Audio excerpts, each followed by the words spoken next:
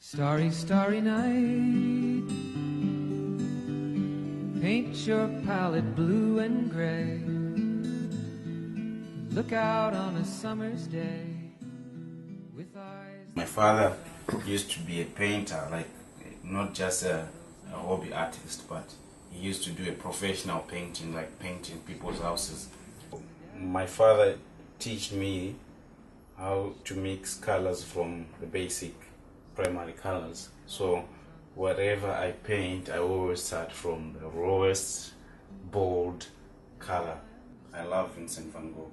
He's one of my greatest inspires and because of him I'm able to do what I can. So I thank Vincent for everything he did in all his paintings, expressing himself through the pain and misery he went through. I have learned something from that and this is my way of uh, speaking his language. I shall continue from where he left. As, as a kid growing up in Zimbabwe, and I take a little bit of that, and a little bit of that, and a little bit of that, and I put in one, and that's how I'm able to create my my my my uh, characters uh, compositions which are coming from my past and the now and the present moment I'm in.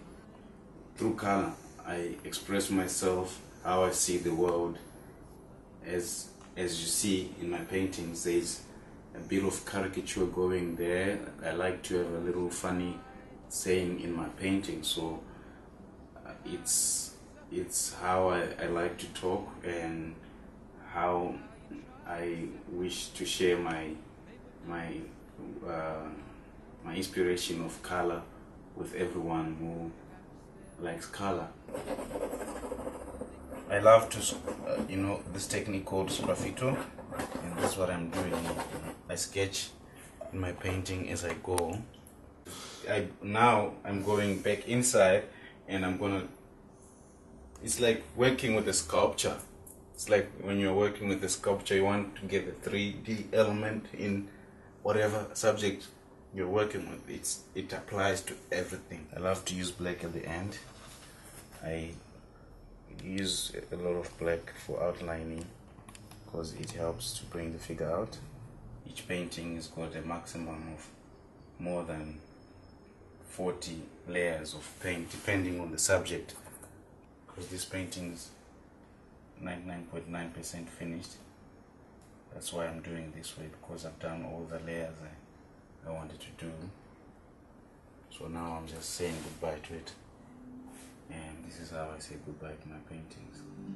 Morning fields of amber grain, weathered faces lined in pain, are soothed beneath the artist's loving hand.